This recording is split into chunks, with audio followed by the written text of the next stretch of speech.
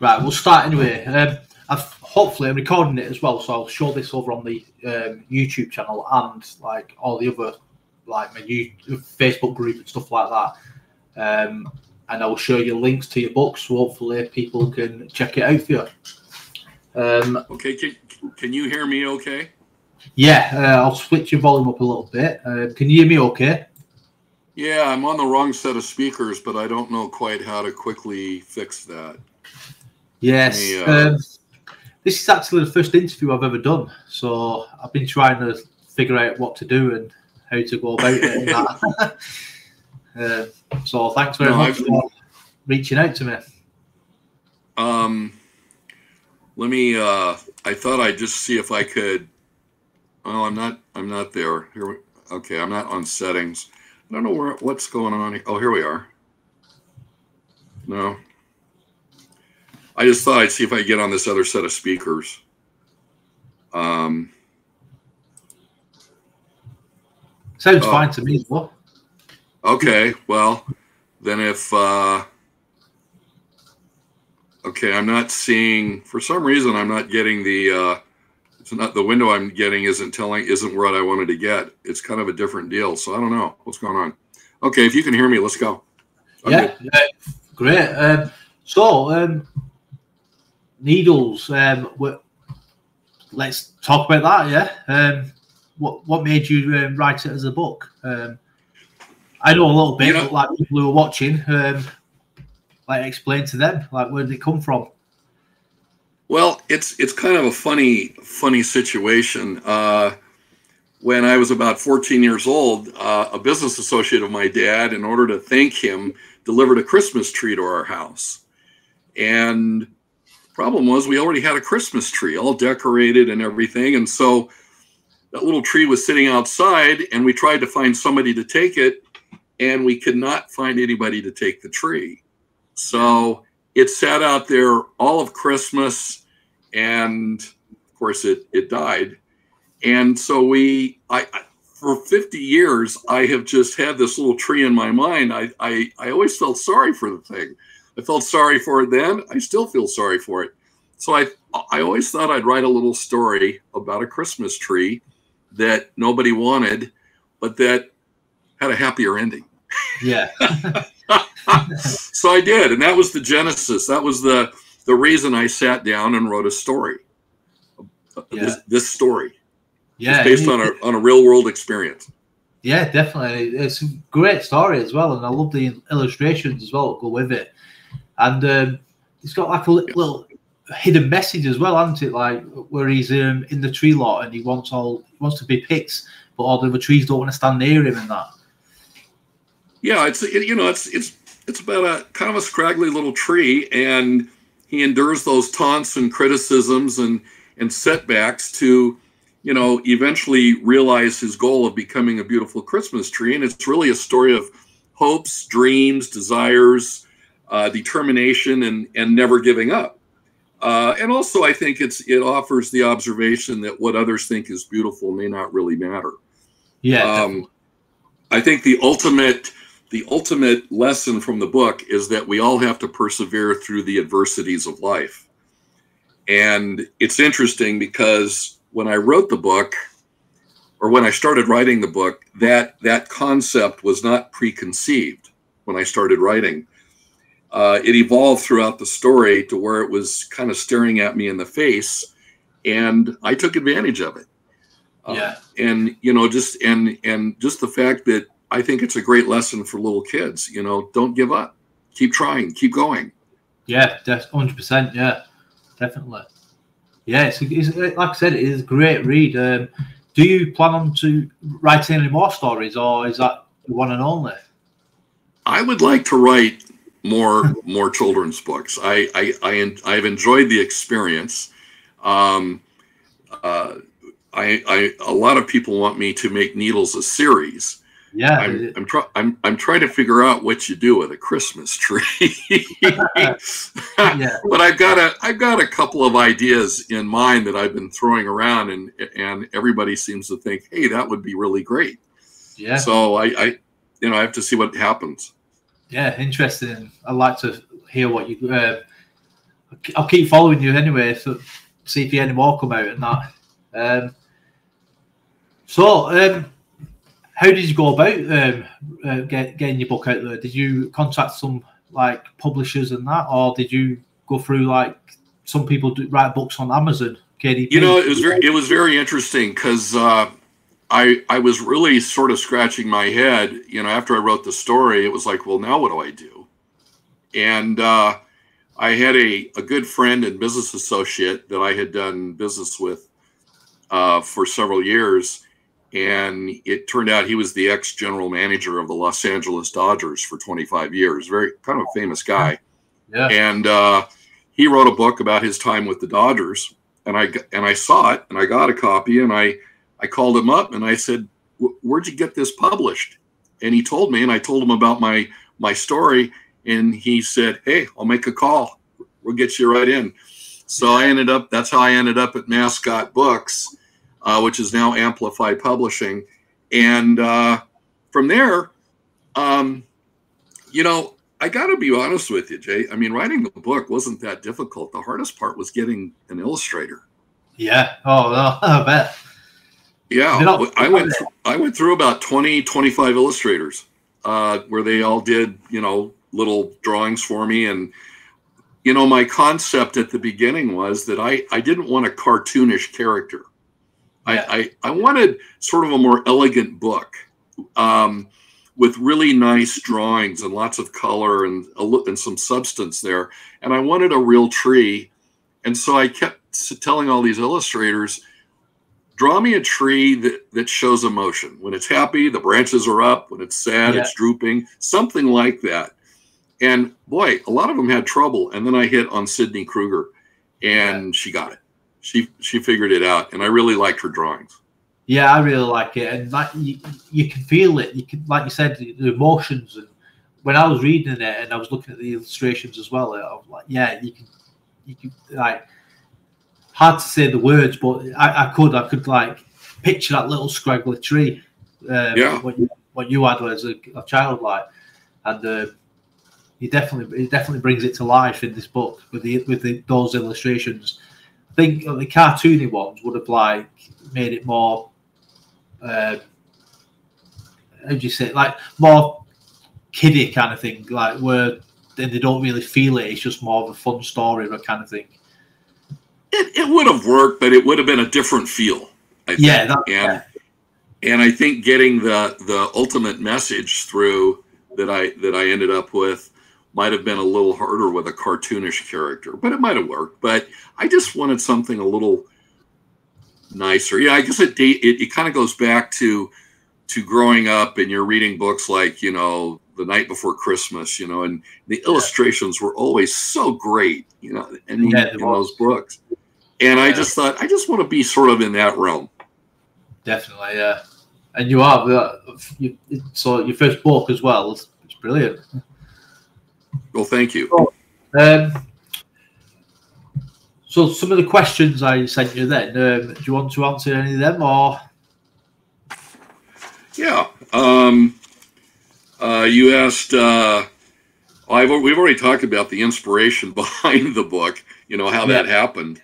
Uh, I was very surprised that I that I won multiple awards on this thing. I I uh, I, I didn't really know that that was a thing, so to speak. I just remember growing up seeing books that I read that had little medallions on them and and uh, that they were you know special books or something. Then all of a sudden, every time uh, my my marketing team would send this book out somewhere, it would come back with the top award, and I was like, wow, yeah, you know, I guess I have a pretty good story, and and uh, that was really neat. I was very uh, very kind of humbled by that. Um, uh, you know, so you know that's that's been sort of the sort of an icing on the cake, I guess you might say.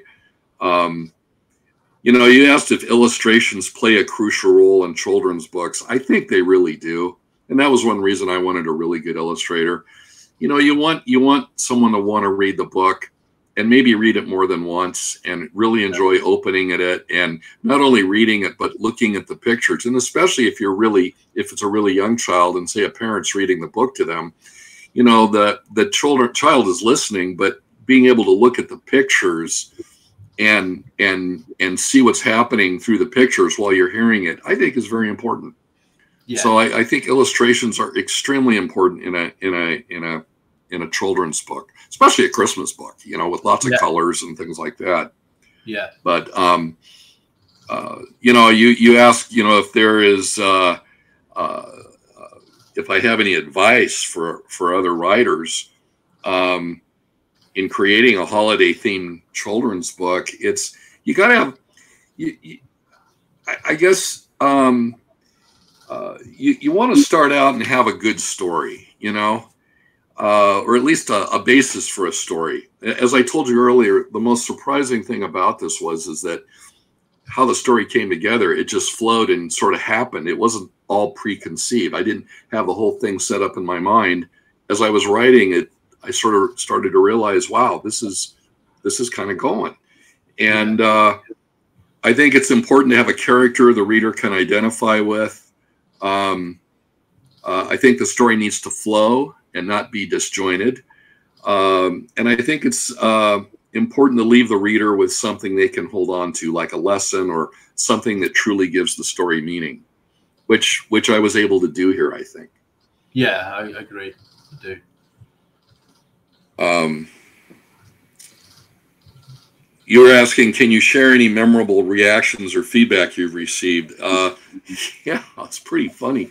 Uh, I've, I've gotten a reaction from people whose children have read the book, and the children literally have memorized the book. It's really kind of funny, and they're Yeah. able to regurgitate the whole story uh, without looking at the book, and uh, it's kind of it's kind of interesting. Um, Yeah. you, you know, that's it's been something that the children have wanted to read over and over, and and and and and the interesting thing was some of these children seem to have really identified with with needles in certain ways. Yeah, definitely. The um, have you read your book out anywhere, like taken it to any uh, bookstores or anything like that?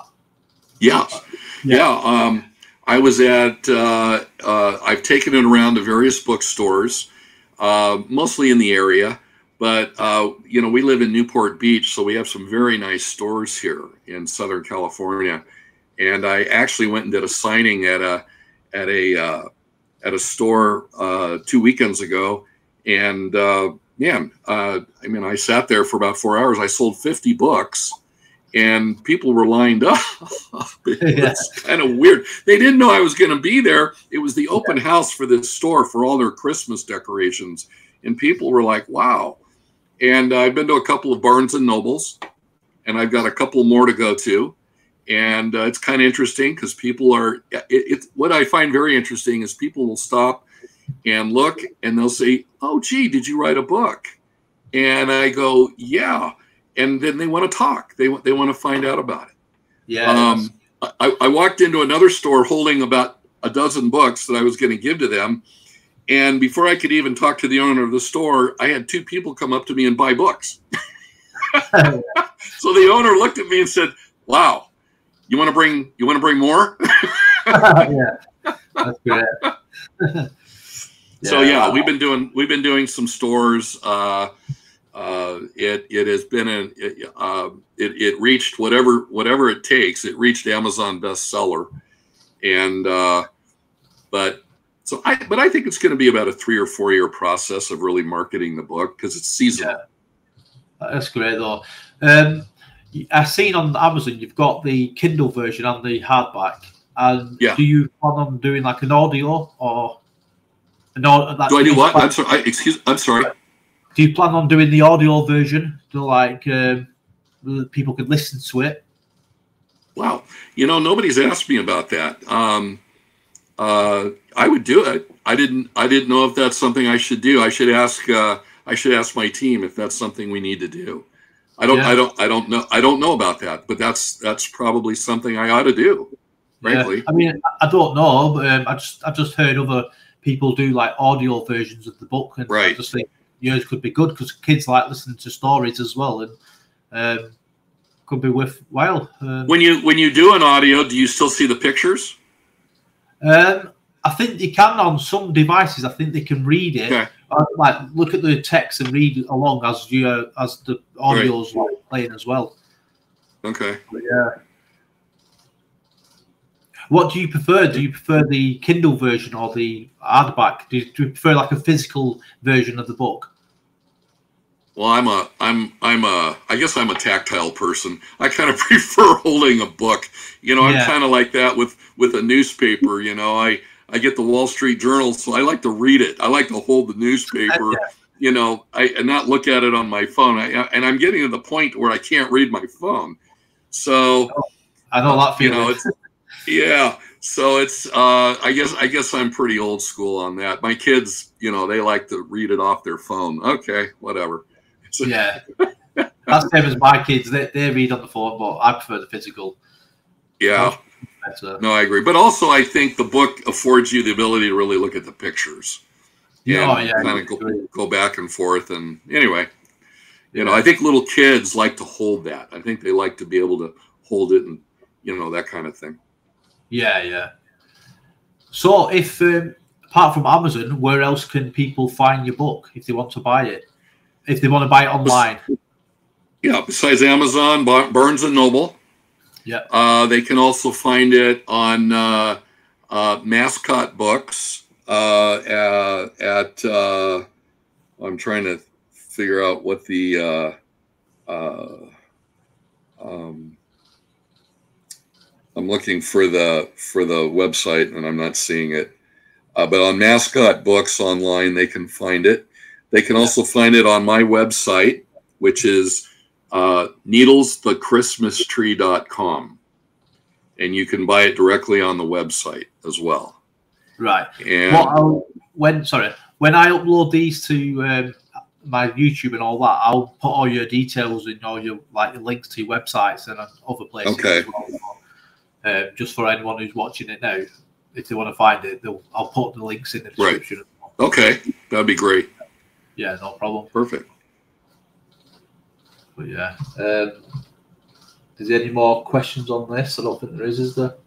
No, I think that's uh, I think that's pretty good. I think we've covered about just about everything there is to cover on this. Yeah, definitely. Uh, unless um, you have any more questions. No, um, you've answered them. Um, apart from like okay. where they find the book and um, right, like general idea. Yeah. Um, thanks very much for um, coming on and being my first ever interview. Yeah. um, and I, I, really enjoyed your book, by the way. Not well, just thank you that, very much. Yeah, I'm not just saying that. I actually did. I love Christmas. Um, as you, as my, my website, it's all about Christmas. Right. My podcast and all that, it's all Christmas. So um, it was great to read like someone's book. Um, and it's Christmas as well, so perfect. Well, I appreciate that. Yeah, very much.